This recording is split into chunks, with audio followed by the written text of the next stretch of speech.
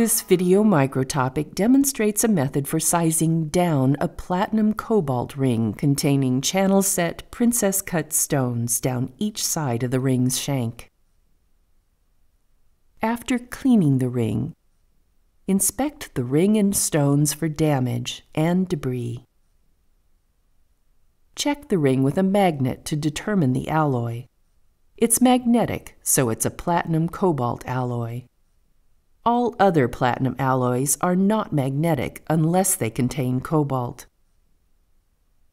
The ring needs to be sized down a half size, from 5 and 3 quarters to 5 and a quarter.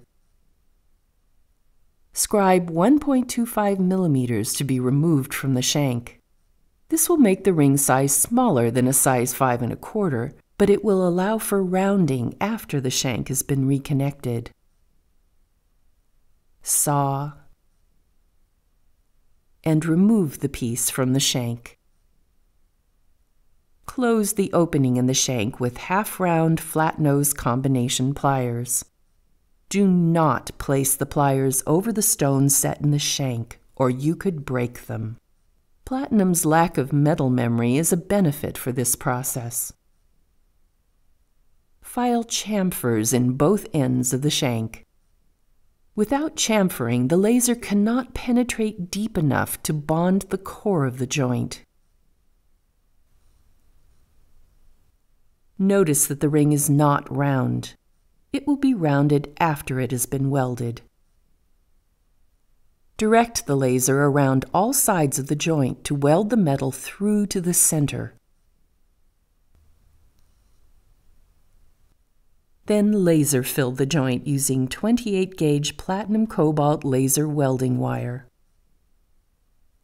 Overfill the joint so you can file and smooth it without reducing the original dimensions of the shank. File inside the ring and round it on a mandrel. Do not hammer over the stones. The finished size is slightly larger than a 5. Inspect the ring for cracks or pits in the sizing joint. Then check for loose stones. After blending the joint, buffing, and polishing, the ring is ready to deliver to your customer. The dimensions of the shank haven't changed, and the joint is the same color as the rest of the shank.